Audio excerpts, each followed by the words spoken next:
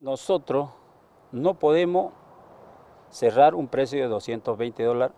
Nosotros lo que exigimos son 300 dólares. Productores continúan con sus medidas y aseguran que lo harán hasta que se llegue a un acuerdo con industrias para fijar el precio de la soya. Y es eso lo que vamos a pelear y sinceramente la gente está enartecida por, por la pateadura que hemos recibido por los policías.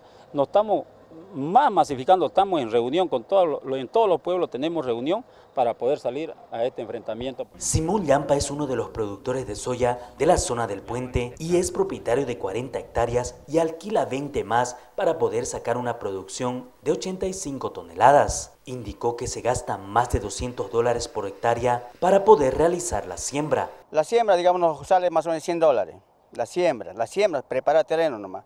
Ahora la semilla no contamos, veneno no contamos. Ahora con la cosecha, los cosechas nos cobran 60 dólares la, la, hectárea. Y el este transporte 25 dólares nos cobran. Entonces no nos cubre con los costos. Los costos no nos cobran lo que nos ofrecen. Entonces eso estamos paralizados ahí. Ahí estamos. No, no, no puedo vender. No me cubre nada, digamos. ¿Cuánto sería lo justo para usted como productor? creo que nosotros como productor estamos pidiendo 300 dólares.